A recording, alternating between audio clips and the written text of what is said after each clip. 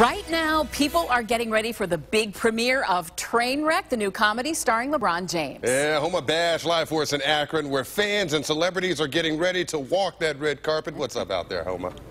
All right, guys, I want to show you all of the fans that are out here already. How excited are you guys? All right, all these stars, everyone's ready to see the stars. We saw the red carpet roll out a couple hours ago. They were vacuuming it.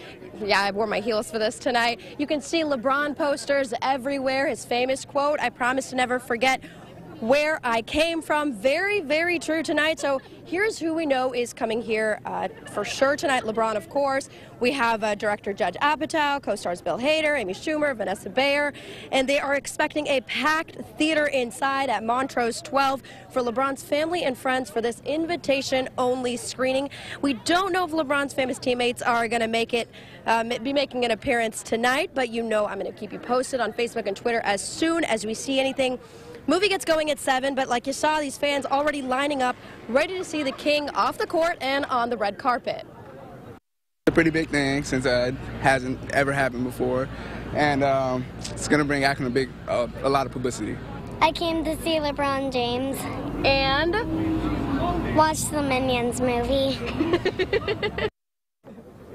That's right, the Minions movie. So along with this big train wreck premiere, they're also playing regular movies here tonight, as well as that much anticipated Minions premiere. So you're going to see everyone just mingling around with all these celebrities. They're expected to hit the red carpet starting about 6.30. They're going to drive up here and walk down this red carpet. You can see all of these fans ready for a good time tonight. We'll send it back inside for now.